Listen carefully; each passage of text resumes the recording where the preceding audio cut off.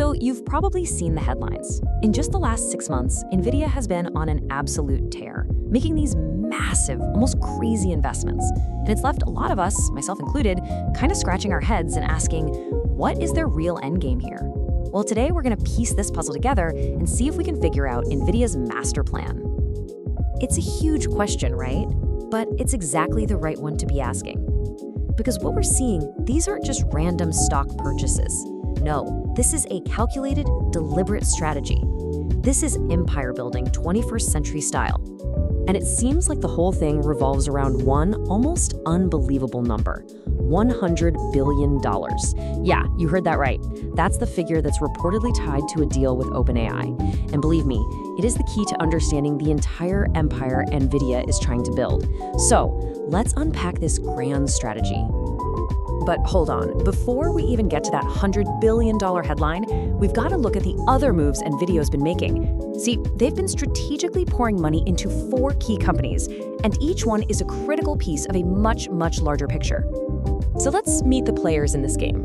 You've got Nokia for the telecom and networking piece, then their old rival Intel for computer processing, of course, the AI juggernaut itself, OpenAI, and finally, a specialized cloud provider called CoreWeave. Four super different companies, right? But as you're about to see, they're all part of one incredibly unified strategy. All right, so where does it all start? Well, like any good empire, it starts with the foundation. In this case, that means hardware. But this isn't just about NVIDIA's own GPUs anymore. Oh no, they're making moves to control every critical piece of the physical infrastructure that AI runs on. And here's how it starts to take shape. On one side, they've pumped a billion dollars into Nokia for networking, and on the other, a whopping 5 billion into Intel for processing. You got to think of it this way. They're securing both the pipes that data flows through and the brains that do the thinking.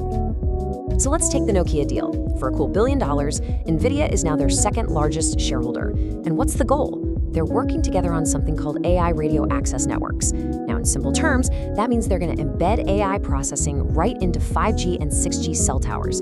It's a brilliant move, really. It extends their kingdom from the data center all the way out to the edge of the network. And listen, NVIDIA's CEO Jensen Huang is not being subtle about their ambition here at all. He's basically saying that by building these new AI native networks with Nokia, they're positioning themselves to be the engine for the next generation of how we all connect. It's a huge play. Okay, and then comes a real shocker a $5 billion investment in their longtime rival, Intel. Now, you might be asking, why on earth would they do that? Well, another big competitor, AMD, has been offering customers this one stop shop for both CPUs, the main processor, and GPUs. This move completely neutralizes that advantage. It guarantees NVIDIA has a top tier CPU partner that works perfectly with their own GPUs. It's a classic case of the enemy of my enemy is my friend. So, NVIDIA's locked down the hardware foundation, pipes, and the brains. But, you know, having the best engine in the world is totally useless if you don't have any fuel. So, the next part of this strategy is all about making sure there is a constant, absolutely massive demand for all that hardware. And here's the kicker they're not just waiting for it to happen, they're creating that demand themselves. And that brings us right back to that jaw dropping number $100 billion. This isn't just an investment. You have to see it as the fuel for a self sustaining fire of AI demand. And it's all pointed at one company OpenAI. Now, to get this, there's a key concept you have to understand. It's called circular financing, and it's a really clever, some might even say audacious strategy. It basically works like this NVIDIA invests a ton of money in its biggest customer, and that customer then turns around and uses that exact same money to buy NVIDIA's products. It's a beautiful, self fueling loop. And hey, it's not just me saying this. The analysts have totally caught on. This one quote just captures it perfectly. NVIDIA is literally recycling its own cash to create a guaranteed customer, which then amplifies the whole AI boom that, you guessed it, benefits them the most. It's kind of brilliant. So here's how it plays out in the real world. NVIDIA gives OpenAI the money to build out these gigantic data centers. In return, OpenAI names NVIDIA its preferred partner. And boom, you've just created a guaranteed sales pipeline for millions of NVIDIA GPUs. The billions that NVIDIA invests come right back to them in the form of sales. It's a perfect feedback loop, all designed to supercharge the race to artificial general intelligence. But it's also a massive bet, right? They're trying a huge chunk of their future to the success of just one AI company.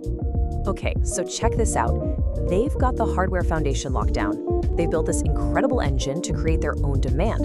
But there's one last, absolutely crucial piece of the puzzle. How do you actually get all of that incredible computing power into the hands of everyone who wants to use it? And the answer to that question is a company called CoreWeave. You can think of them as the critical delivery network.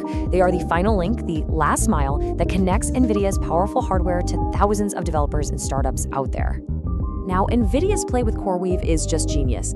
First, they own a major stake worth over $3 billion. But the real masterstroke is this backstop agreement. NVIDIA has guaranteed to buy up to $6.3 billion of any unused cloud computing time from CoreWeave. This basically takes all the risk off CoreWeave's shoulders and ensures there's a thriving, loyal cloud ecosystem built completely around NVIDIA hardware. So let's pull all these threads together now. When you stop looking at these four investments as separate bets and you start looking at them as a whole, well, that's when they start to look like the pillars of a true 21st century tech empire. And here it is, the grand strategy all in one place. It's a perfectly integrated four-layer stack. You've got Nokia handling the networking, Intel for the core computing, OpenAI is the AI brain creating all the demand, and CoreWeave is the delivery network. And right in the middle of it all, pulling all the strings, is NVIDIA. They have influence at every single layer. And when you look at the numbers all side by side like this, you can really see the logic and the scale of what they're doing.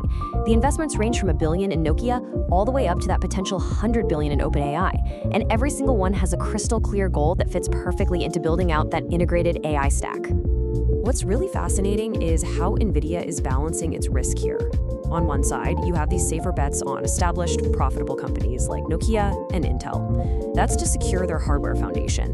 But on the other side, you've got these high risk, high reward moonshots on fast growing but still unprofitable companies like OpenAI and CoreWeave. That's to create and capture all the new demand. So, if there's one thing to take away from all this, it's this NVIDIA is not just a chip company anymore, not even close. They are methodically building an entire integrated ecosystem where they have influence and a financial stake in every single critical layer of the AI value chain. So why does any of this matter? Because NVIDIA isn't just playing for next quarter's earnings report, they are trying to cement their dominance for decades.